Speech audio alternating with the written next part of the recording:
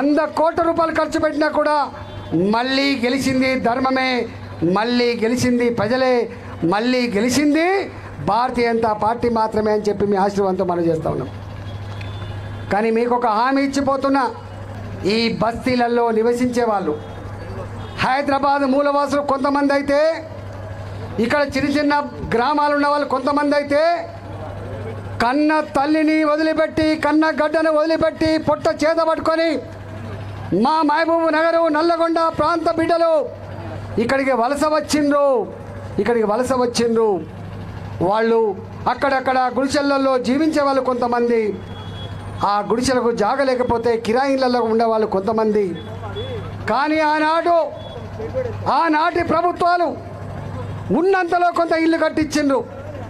ఉన్నంతలో కొంత ఇళ్ళ జాగాలు ఇచ్చిండ్రు నేను అడుగుతున్నమ్మా ఏ పేదల కోసమే పుట్టిన అని చెప్పే కేసీఆర్ తొమ్మిది సంవత్సరాల కాలంలో ఒక్క పేద బిడ్డకైనా డబుల్ బెడ్రూమ్ ఇచ్చిండా అని చెప్పి అడుగుతా ఉన్నా.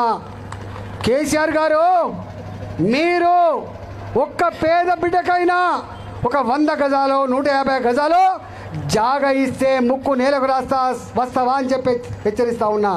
యాభై ఏళ్ళ క్రితం నలభై ఏళ్ళ క్రితం ఏ పేదలకైతే అరెకరం భూమో ఎకరం భూమో అసైన్మెంట్ చేస్తే ఆ భూములలో రాళ్ళు కొట్టుకొని చెట్టు కొట్టుకొని పొదలు కొట్టుకొని బోర్లు వేసుకొని బావులు తవ్వుకొని కరెంటు మోటార్లు పెట్టుకొని వ్యవసాయం చేస్తే ఈ దళితులకి ఈ పేదోళ్ళకి గింత విలువైన భూములు ఎందుకు ఉండాలని చెప్పి ఆ భూముల మీద కన్ను పడ్డది.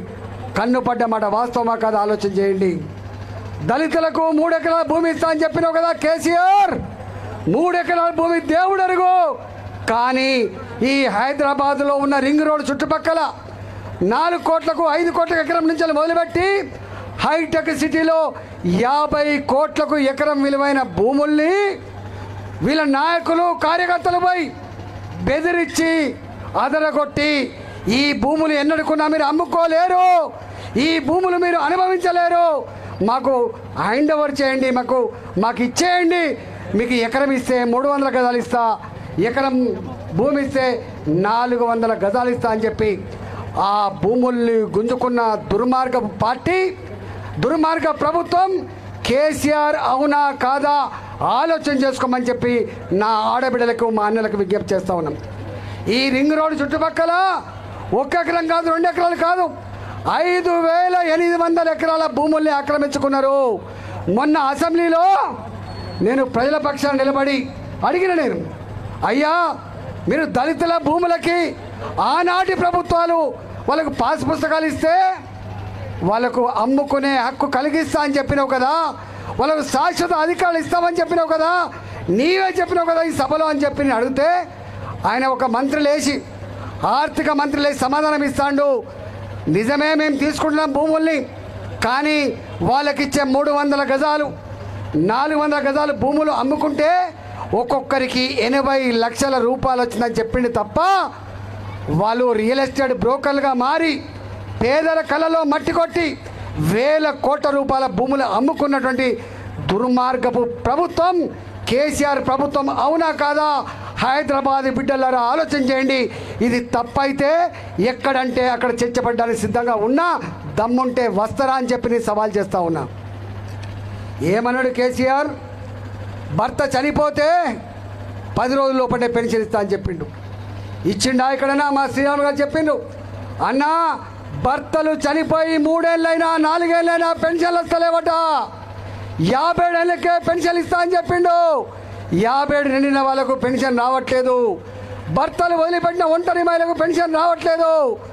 పాత వాళ్ళకు మాత్రమే వస్తూ ఉన్నాయి తప్ప చనిపోయిన పెన్షన్ల జాగాలో ఎక్కడన్నా అవన్నీ ఇస్తారని చెప్పి ఆశపడ్డాం. కానీ పెన్షన్ ఇస్తలేరు. రేపు రేపు భారతీయ జనతా పార్టీని నిండు మనసుతో ఆశీర్వదించండి. యాభై ఏడు సంవత్సరాలు నిండిన వాళ్ళకే తప్పకుండా పెన్షన్ ఇచ్చే జిమ్మదార్ మేము తీసుకుంటామని చెప్పి మనం చేస్తూ ఉన్నాం. అవసరమైతే అవసరమైతే పేద కుటుంబాల్లో కొడుకులు అన్నం పెట్టలేని స్థాయిలో ఉంటే ఇలా భార్యకు వస్తే భర్తకు రాదు పెన్షను భర్తకు వస్తే భార్యకు రాదు. అవసరమైతే పేదవాళ్ళైతే ఇద్దరికి కూడా పెన్షన్ ఇచ్చే ఆలోచన భారతీయ జనతా పార్టీ చేస్తుందని చెప్పి మేము మనం చేస్తూ ఉన్నాం. భారతీయ జనతా పార్టీ అంటే వాళ్ళు అనుకున్నట్టుగా కాదు.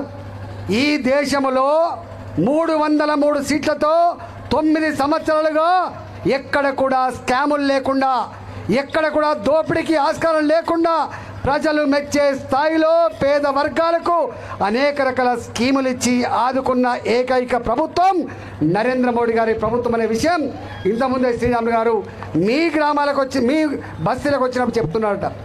ఇవాళ మీకు ఒక హామీ ఇస్తూ ఉన్నాం. మీకు ఒక హామీ ఇస్తూ ఉన్నాం. తప్పకుండా నాకు తెలిసి ఎలా మీరు పదివేల రూపాయలకో పన్నెండు వేల రూపాయలకో పదిహేను వేల రూపాయలకో చిన్న చిన్న కంపెనీలలో పనిచేస్తూ ఉన్నారు. చాలీ చాలని జీవితాలతో పనిచేస్తూ ఉన్నారు.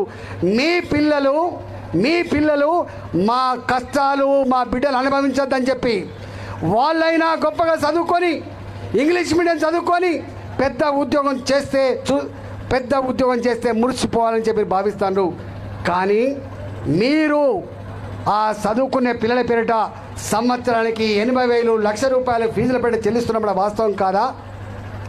గవర్నమెంట్ స్కూల్ పెట్టినా అని చెప్తా ఉంది. రెసిడెన్షియల్ స్కూల్ పెట్టినా చెప్తా ఉంది. ఎవరి ముక్కలు పెట్టావు ఇవాళ ముప్పై లక్షల మంది గవర్నమెంట్ స్కూల్లో చదువుతూ ఉన్నారు. ఇవాళ రెసిడెన్షియల్ స్కూల్ బీసీలకి రెండు లక్షల మందికి కూడా వాళ్ళకు అకామిడేషన్ లేదు బిల్డింగులు లేవు వాళ్ళకు అడ్మిషన్ లేవు.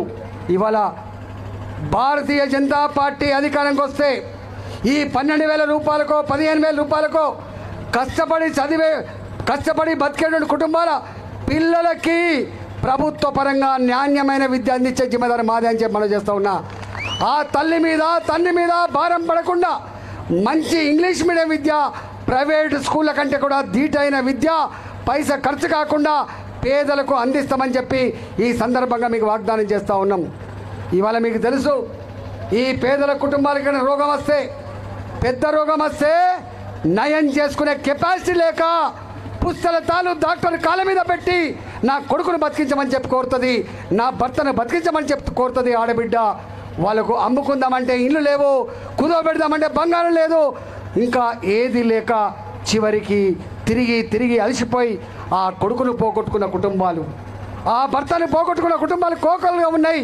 ఇవాళ భారతీయ జనతా పార్టీ ఇప్పటికే ఇక్కడ ఆరోగ్యశ్రీ పేరిట అమలు చేస్తూ ఉంది. రాబోయే కాలంలో రాబోయే కాలంలో పేద వర్గాలకు రూపాయి ఖర్చు లేకుండా వైద్యం ఇచ్చే జిమ్మెదారు కూడా తప్పకుండా మేము తీసుకుంటామని చెప్పి మనం చేస్తూ ఉన్నాం.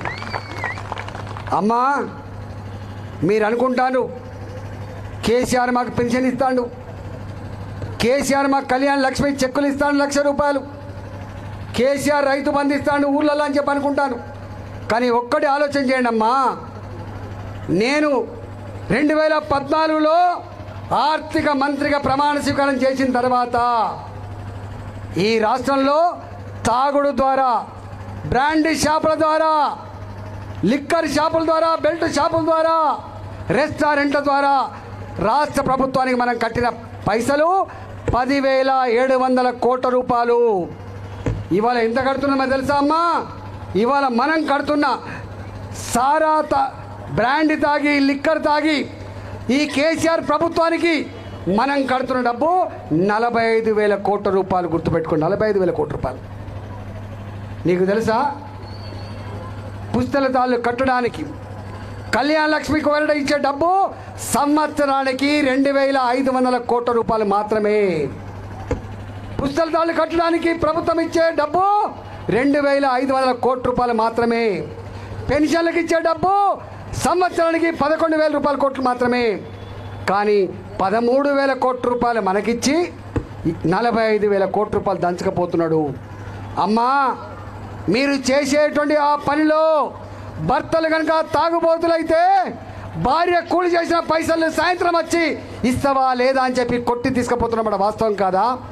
అయ్యా పిల్లలకు బట్టలు లేవు పిల్లలకు అన్నం లేదు నువ్వు తాగకని చెప్పి వారించినప్పటికి కూడా తాగి యాక్సిడెంట్ అయి చచ్చిపోయిన వాళ్ళు మనం చూస్తూ ఉన్నాం. తాగి తాగి రోగాన బాండపడి చచ్చిపోయే వాళ్ళని చూస్తూ ఉన్నాం. పుస్తల తాళ్ళు కట్టడానికి కేసీఆర్ రెండు వేల ఐదు వందల కోట్లు ఇస్తే పేదవాళ్ళు తాగి తెగిపడ్డ పుస్తల తాళ్ళెన్నో ఆలోచన చేసుకోమని చెప్పి నా ఆడబిడ్డ విజ్ఞప్తి చేస్తూ ఉన్నాం. రాత్రిపూట పల్లెలలో మెడికల్ షాపులలో ట్యాబ్లెట్ దొరకదు. కానీ రాత్రిపూట మాత్రం కుదిలేస్తే తాగేవాడికి మాత్రం సీసా దొరుకుతుంది గ్రామాలలో గుర్తుపెట్టుకోండి. ఎక్కడ తాగుడుకు. మీరు హైవేలో పోండి పోండి. మీరు ఎక్కడ గలీలలో దేవాలయాల పక్కకే బ్రాండ్ షాపులు ఉంటాయి స్కూళ్ళ పక్కకే బ్రాండ్ షాపులు ఉంటాయి మహిళలు తిరిగే దగ్గర బ్రాండ్ షాపులు ఉంటాయి. ఇవాళ కేసీఆర్ సాధించిన గొప్ప ఘనత ఏంటంటే వాడవాడకు బెల్ట్ షాపులు పెట్టి తాగిపిచ్చి భర్తలు చనిపోతే పుస్తకాలు తెంపుతున్న దుస్థితి. అవునా కాదా? ఆలోచన చేసుకోమని చెప్పి కోరుతున్నాం. ఇవాళ మీకు హామీ ఇస్తా ఉన్నాం. రాబోయే కాలంలో రాబోయే కాలంలో భారతీయ జనతా పార్టీ ఇలాంటి బెల్ట్ షాపులని ఇలాంటి అడుగడుగుకు తాగబోసే సెంటర్లని తప్పకుండా ఎత్తేసే కార్యక్రమం చేస్తానని చెప్పి మనం చేస్తూ ఉన్నాం. దీనికి ఒక పద్ధతి ఉండాలి దీనికి ఒక సిస్టమ్ ఉండాలి. మనుషుల్ని చంపి మనుషుల్ని ఆత్మహత్య చేసుకుంటే వాళ్ళ మీద డబ్బులు సంపాదించి దుస్తుంటుందా పేదవాళ్ళకు అవసరమైతే ప్రభుత్వ పరంగా ఉన్న భూములలో ఇండ్లు కట్టించే జిమ్మదారి మాదే తప్ప ఎక్కడ కూడా వెనుక కడుగు ప్రసక్తి లేదు. మా సూపు మా యావ పేదల పక్షాన ఉంటుంది తప్ప ఉన్న వాళ్ళ పక్షాన ఉండదు కాబట్టి రేపు ఈ మహేశ్వర నియోజకవర్గంలో తప్పకుండా మేము చూస్తూ ఉన్నాం. ఎక్కడ పోయినా కూడా సముద్రం అంతా విస్తరించినట్టు కనబడతా ఉంది. వాళ్ళు అనుకుంటాను ఇంకా మొన్న దశాబ్ద ఉత్సవాల పేరిట మళ్ళా తాగిపిచ్చుడు మొదలుపెట్టిండు తినిపిచ్చుడు మొదలుపెట్టిండు ప్రజల మీద ప్రేమలే సుమా. వాళ్ళకు ప్రేమ ఉందల్లా మన ఓట్ల మీదనే కాబట్టి ఖచ్చితంగా తాగబోయించిన తినిపించిన నా హుజరాబాద్ లాగా ఓటుకు పదివేల రూపాయలు ఇచ్చినప్పటికి కూడా ఆత్మగౌరవ బావుట ఎగిరేయండి ధర్మాన్ని నిలిపే ప్రయత్నం చేయండి. మా ఆచార్య గారు చెప్పినట్టుగా ఈ కురుక్షేత్ర సంగ్రామంలో ఇలా కౌరవులంతా ఒకవైపు ఉంటారు పాండవులదే విజయం ఉంటుంది కాబట్టి ఆ వంద పైబడి ఎమ్మెల్యే ఉండొచ్చు కాక అధికారం ఉండొచ్చు కాక కానీ అంతిమంగా ప్రజల ఆశీర్వాదంతో తెలంగాణ గడ్డ మీద గెలిచేది ఇవాళ ధర్మమే గెలుస్తుంది కాబట్టి భారతీయ జనతా పార్టీని పువ్వు గుర్తును గెలిపించి ఓటేయాలని చెప్పి మీ అందరికీ విజ్ఞప్తి చేసి సెలవు తీసుకున్నా జై తెలంగాణ! జై తెలంగాణ! భారత్ మాతాకి! భారత్ మాతాకి! నరేంద్ర మోడీ గారి నాయకత్వం!